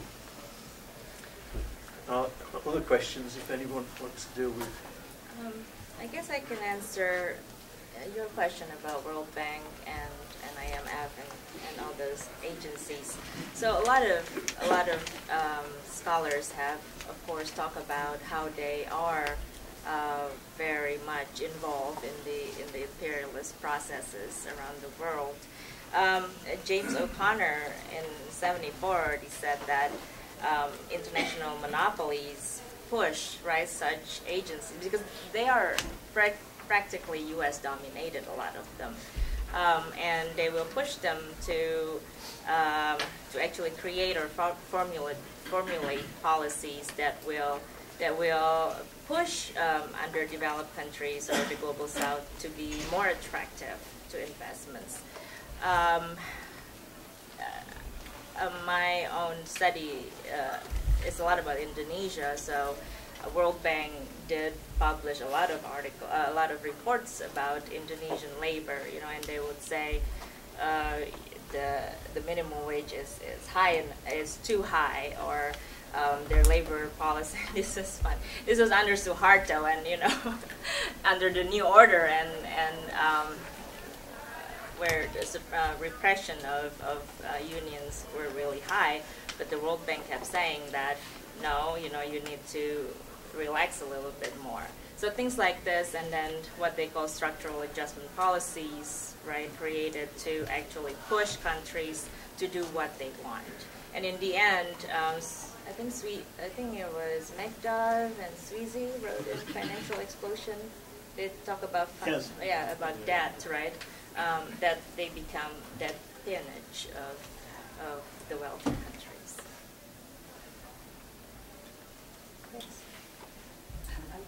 Okay, so the question that you raised about the working class and overcoming these international divisions, I think is one of, I mean, it's one of the most important questions, I think, for all of the movements in existence um, today. That's at the heart. Marx wrote in a letter um, back in the 1800s that the secret to the oppression of the working class in Britain was British imperialism in Ireland and the division that that imposed and drew a parallel to the United States and the division between the white and black working class.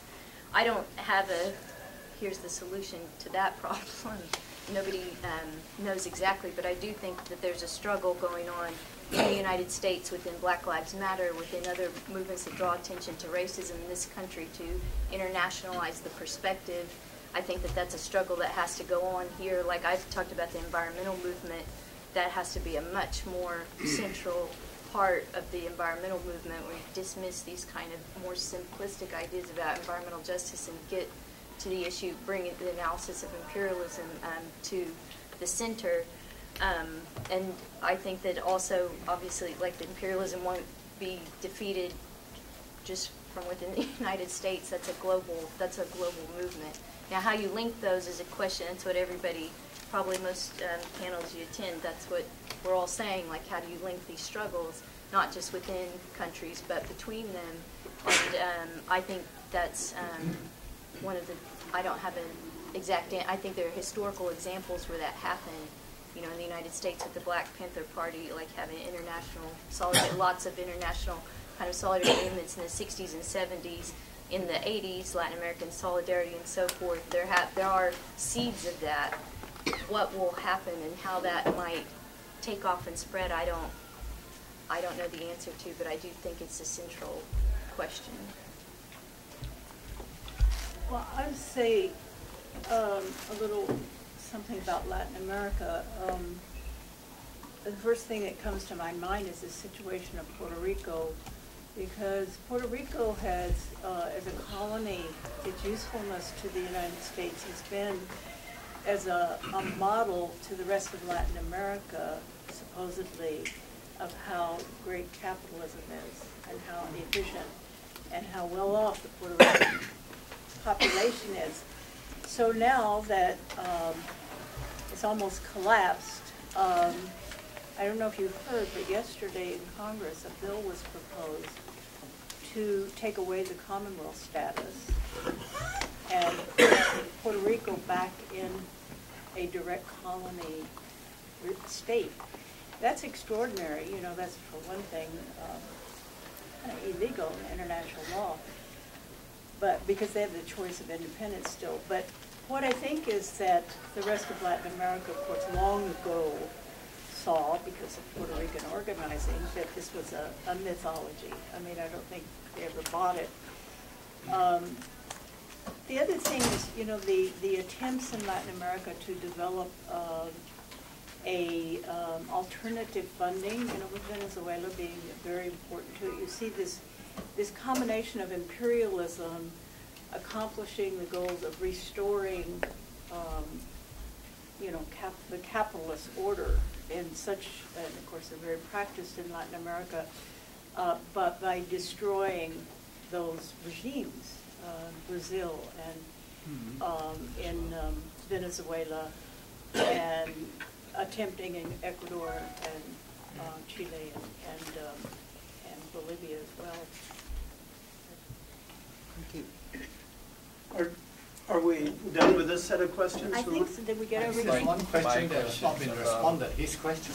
Um, Oh, about what other regions, um, was it the Russia and, Yeah, like and Russia, China? India, BRICS, China, where does it fit in the analysis of imperialism? I'll just say something briefly about that. I think the the, uh, the crisis, the, Gre- the crisis of Greece in Europe, basically, Greece is uh, is being relegated from the club of imperialist nations, which is what the European Union is, and it no longer qualifies. Um, it's uh, the main uh, economic power that Greece used to exert was its control over shipping, and it's now second or third place to Denmark. And, uh, uh, there's a very interesting, some of you might have come across some of the, um, uh, the work done by Ricardo Hausmann and others at, I think it's MIT, uh, the Atlas of Economic Complexity, where they actually study the economic uh, exports, the commodities exported by different countries. And when they look at Greece, they see that Greece basically exports the same sorts of commodities that countries the, with the developed of China um, uh, export. In other words, Greece is in direct competition with China. It's not in competition with France or Germany. It's not producing the same goods as France or Germany. And uh, therefore, the implication would be that if Greece wants to successfully compete in the world, it must reduce wages towards those that exist in in, uh, in China. In other words, Greece is is uh, not doesn't qualify to be a member of the imperialist club, and it's finding it's, it's being cast out of the ranks. And uh, I would say that's what's really going on. It's a slow motion process, but it's it's absolutely inevitable. Whether the whether Greece gets expelled before the European Union itself breaks up or not, I don't know. Uh, there is also the question of sub-imperialisms, like the relationship between Brazil and Bolivia, or you know, uh, China as well, uh, is developing imperialistic tendencies in its operations in Africa. So there's a whole load of areas that you've alluded to that require some specific discussion. But I think um, I would argue that the fr- overall framework, which I've put forward in the book, actually provides uh, a framework which can be extended in all kinds of different ways, uh, and by people like yourself. Uh, Go for it. I just add that with the, um, I mean, China is a more difficult question, but if we look at Russia, it's, you know, we, we look at it in terms of traditional geopolitical analysis, whether you, you know, whether you uh, support what the things that Russia is doing in the world or not, it's very clear that geopolitically they're on the defensive. And uh, they, they have been for a long time. And uh, the U.S. empire is expanding into um, regions that they formerly uh, had, you know, were their sphere of influence. And any, any major power is going to um, then uh, respond in some way. And uh, so uh, I think in terms of Russia, at this point in time, it is, it's mainly defensive and uh, just in geopolitical terms. They're not the, the expansive power in terms of, of, uh, of um, well, what is happening. Um, so um, it's the United States and NATO is, and this goes all the way back to 1991, but we won't get into that. So we should have another set of questions if we, we have, we have time for a few questions. We've got five minutes. Um, uh, Yeah, back there. So, as uh, wealthy nations are transferring uh, production, or multinational corporations are transferring their production overseas, and um, wealthy countries are, those jobs are being replaced by more service-based jobs, low pay. Um, as wages get depressed here, and people fight for higher wages in other parts of the world, I've been reading people musing about the idea of reindustrialization and, and the possibility for production to get so cheap here again that those companies are going to come back. is there any merit to all that, and is, is there any implications for labor organizing? Uh, let me see. Yeah. Yeah, um, related directly to that, um, because it's, it's actually happened, it was reported in the New York Times, it was a cover story on Time magazine uh, a year and a half ago, made in the USA. Uh, onshoring is a thing. The, uh, the wages at Caterpillar for new hires are now equivalent to those in China, uh, taking out transportation costs. So I just, I just had a question uh, about that, thinking about workers' solidarity and international solidarity. Because you had mentioned uh, the exploitation itself facilitates a, a raise in living standards for the North, but I, I don't see that. And, and to what extent is the depression, the forcible depression of wages and the class struggle, class warfare in the North precedes, like in the late 70s, is uh, precedes the rise in production facilities in the South, used as a way to uh, weaken the labor movement, and then feeds back into the North as uh, justification for lower wage, lowering wages again, because now we can buy cheap products.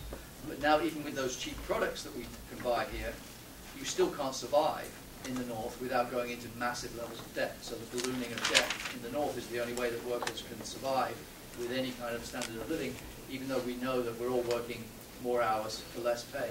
So to what extent is it actually a strategy to depress wages globally by, uh, rather than, because it, it raises the question, which goes back a long time, uh, right, about do workers in the North or do workers in the imperialist countries benefit from the exploitation or super exploitation of workers in the South? And if that's true, then we can't, how are we going to have solidarity if we actually materially benefit? And obviously Marx's answer was no, we can't, we lose.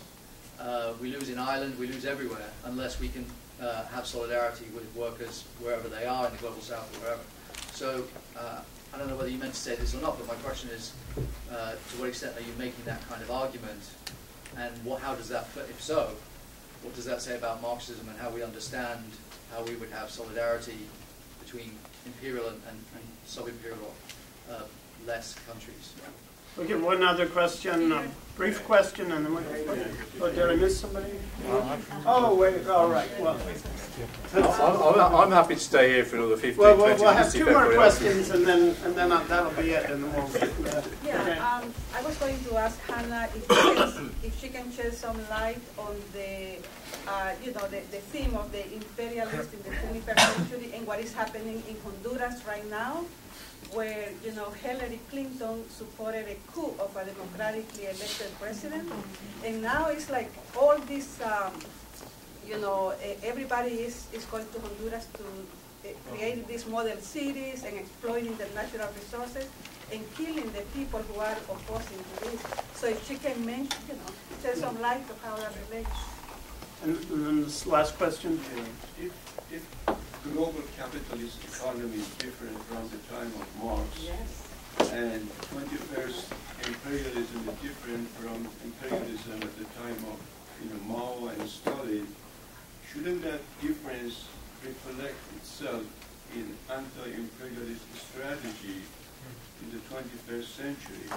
Hannah touched on this and she made some, you know, good, you know, remarks, but I don't know, uh, but it might be me, but when I read Samir Amin uh, in, in, say, Monthly Review, he seems to say things that Stalin and Mao said in terms of, you know, that the primary, the main contradiction right now is between the South and the North, and whereas uh, Stalin and Mao were talking about national bourgeoisie, Samir Amin talks about sovereign bourgeoisie, which would be the same as national bourgeoisie. And then you read, you know, the literature of the so-called anti-imperialist left, it, you know, they, they seem to be, you know, really echoing what Stalin and Mao were saying at that time. So where is that new anti-imperialist strategy fitting now, given the new imperialism of the 21st century?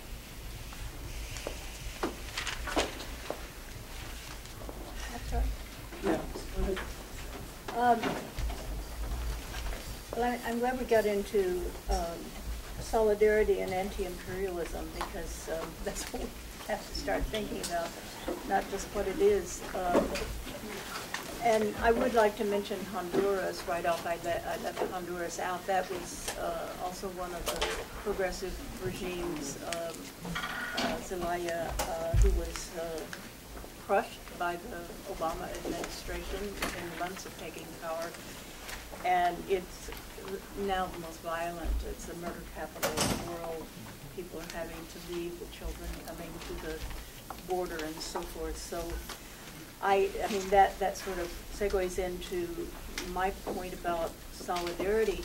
I think on the left we have to be bolder um, in anti-imperialism. I mean, what does it mean to act it out? And in the past, even, uh, you know, I'm very involved in anti-imperialism since I was 18 years old.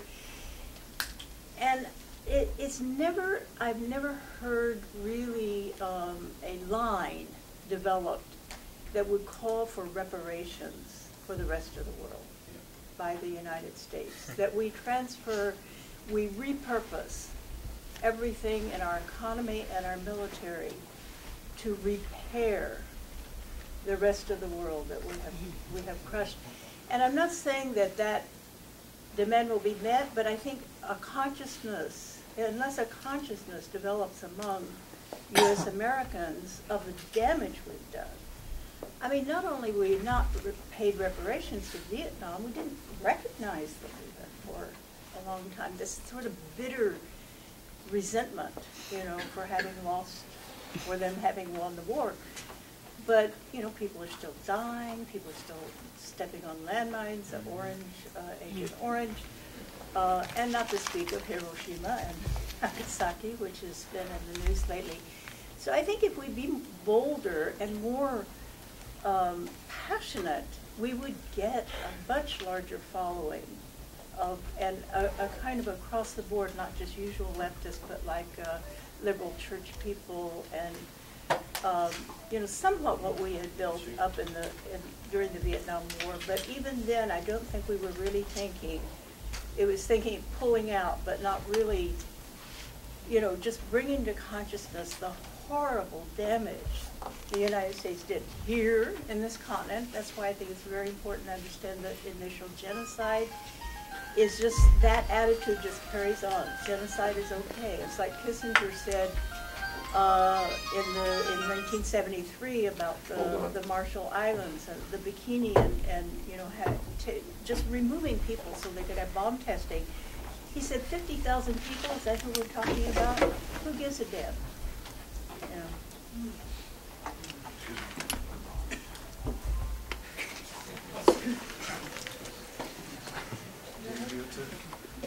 Okay, I'll take it. Okay. Um, well, I'm, uh, is there a possibility of international working class unity? Um, I'm actually quite optimistic, to be honest. Uh, I think that, uh, that there are so many things that have happened which actually strengthen our class. That you can't find a factory in the United States or Europe which is not uh, where the workforce isn't taken from many, many different countries, including and especially oppressed nations. Uh, so migrations, which uh, has had a transformative effect on the working class in Europe, in my view, enormously strengthens the class. But I, I think when we try to understand the future, or try to imagine what, what is to come and what's possible, it is exceptionally difficult to do that at the moment because we are in the midst, or in the early stages rather, of the deepest crisis that the capitalist system has ever faced.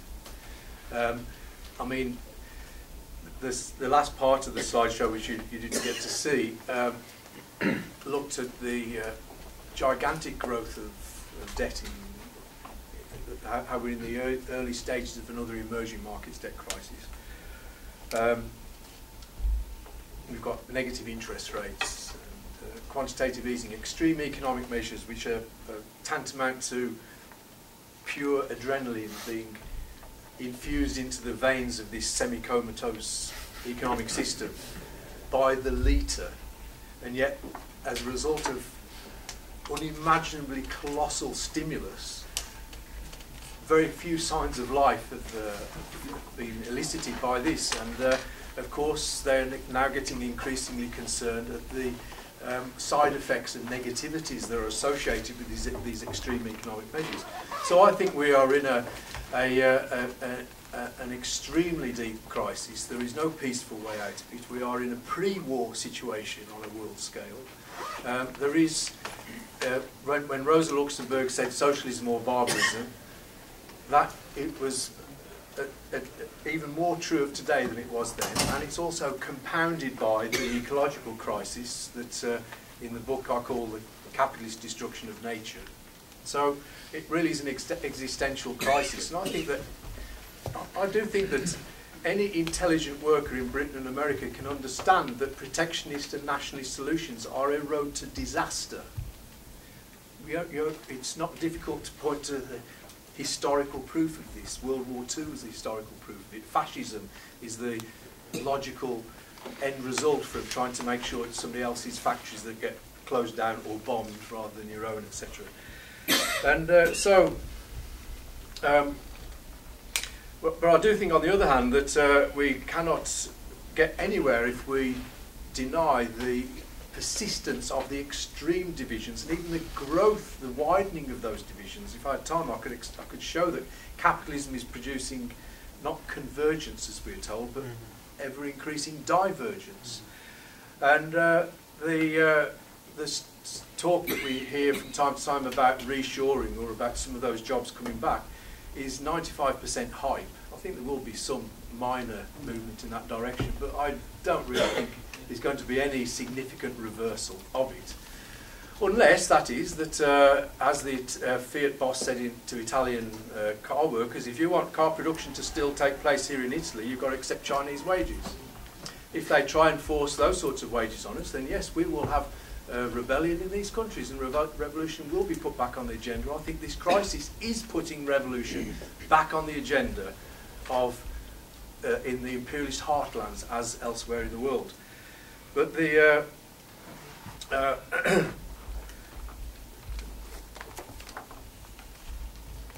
the um, hmm, there's a point I was going to make. Uh, anyway, uh, Marx's answer when he was looking at uh, Ireland and so on wasn't uh, that uh, imperialism in Ireland. Uh, his answer was that this is actually producing a labour aristocracy. His answer was that, that his answer to this, to the imperialist impulse of the of the British ruling class was to begin with, he thought in 1948 when he wrote Communist Manifesto that it would be the revolution within Brit in England that would set off revolutions in the colonies and elsewhere in the world. 20, 30 years later, he completely changed his mind and he decided then that actually it was revolutions in the South, in the nations oppressed by imperialism, which were necessary for a revolutionary situation to develop within Britain. And I think that is absolutely right today. It's going to be the struggles of peoples in Latin America and China and so on and so on. And uh, that, that will actually, combined with the fact that many people from those countries and with those experiences uh, are now present in the working class within the imperialist nations themselves, all of this means that uh, revolution is both necessary and also possible. Um, so I I think those, those are the things. It's a shame we haven't got time to further develop the global crisis aspect because that's an important part of the book. The last chapter explains or tries to discuss at least what the, what the significance of the outsourcing of production, these transformations in production have for the nature of the global crisis. Because the global crisis is only talked about as a financial affair and that transnational corporations are seen as passive victims of the decisions of bankers, which is ridiculous. But uh, we haven't got time to go into that. But well, if you want to read the book. Yeah, everyone can, can get John Smith's book. And these, I think that each of these presentations, I hope, will appear as, as articles among